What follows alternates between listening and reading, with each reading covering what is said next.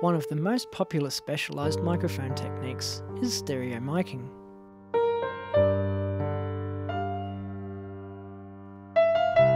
The employment of two or more microphones to create a stereo image will often give depth and spatial placement to an instrument or audio recording. In this demonstration, I am going to utilise Alan Blumlein's own Blumlein technique to capture the stereo image of a piano performance.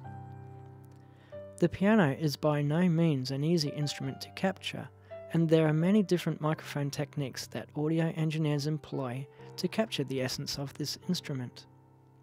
As such, the incorporation of a Blumlein stereo pair in the position that I have selected are only capable of capturing a limited footprint, so I have incorporated the addition of three extra microphones to round out the fullness and tone of this instrument in my broader recording.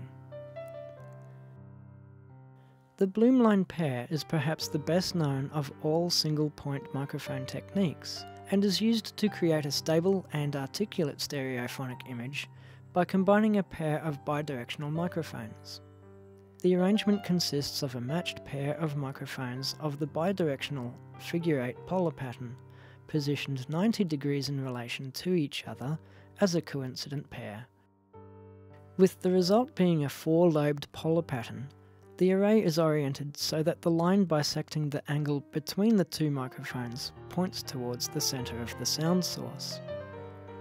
The polar patterns of the pair combined with their positioning delivers a high degree of stereo separation in the source material, as well as offering great capacity to capture the natural reverberance of the recording environment. In the case of this piano recording, you can see that the lid has not been removed from the piano, thereby hindering the ability of the microphones from capturing the room ambience.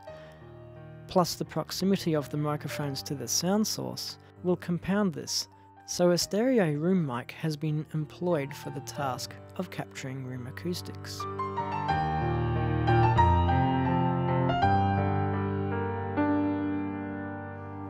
I have placed the microphones in the middle of the soundboard directly over the hammers to maximise the stereo image and to capture a tight percussive sound.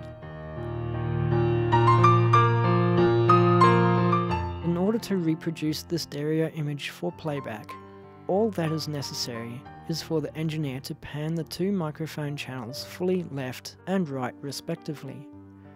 The resultant stereo image will offer great stereo accuracy and detail.